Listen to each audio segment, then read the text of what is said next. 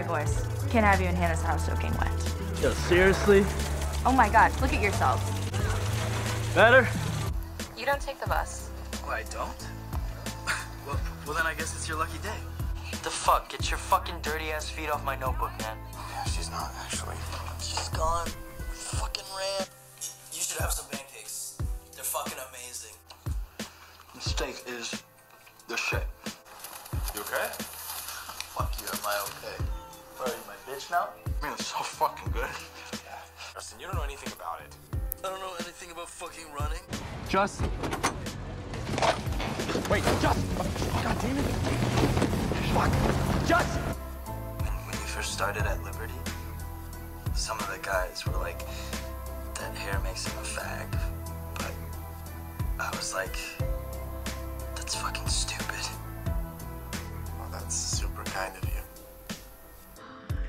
not trust that little sleeping angel? Fuck are you looking at? Mm, What's the plan? Boom.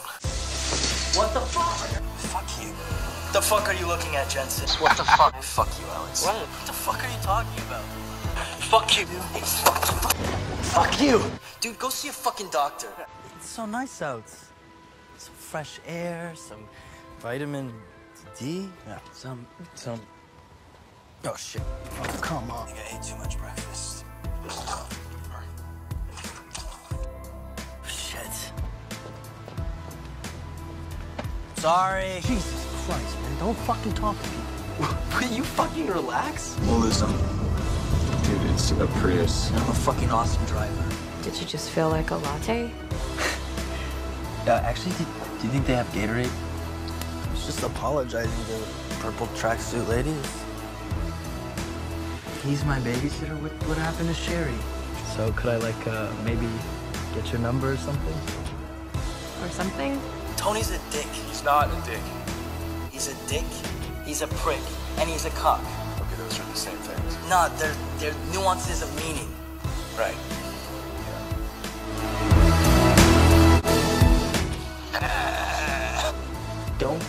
Me off. I- I'll just take your number.